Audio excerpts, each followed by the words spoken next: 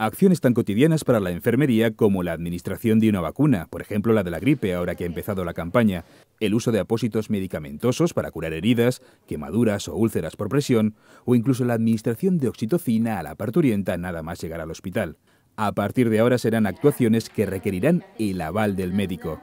Así se desprende del artículo 3 del Real Decreto que regula la prescripción enfermera y que fue aprobado por el Consejo de Ministros el viernes 23 de octubre y que está pendiente de su publicación en el BOE y entrada en vigor. Yo creo que se ha llegado, por tanto, a un punto mm, razonable de regulación que va a dar seguridad al trabajo que diariamente realizan las enfermeras en nuestro país y los enfermeros y a un punto también de, de seguridad del trabajo que realizan los profesionales de la, de la medicina. Que Sin embargo, para la enfermería es una involución de la profesión. Las enfermeras de la comunidad valenciana remarcan que no ofrece la cobertura legal que se esperaba. La norma aprobada recoge la necesidad de obtener una acreditación para la indicación, uso y autorización de dispensación de medicamentos y productos sanitarios de uso humano un aspecto de la norma con el que el Fórum Enfermero del Mediterráneo se ha mostrado contrario desde que empezaran las negociaciones entre el Ministerio de Sanidad y la Mesa de la Profesión Enfermera, compuesta por el sindicato SATSE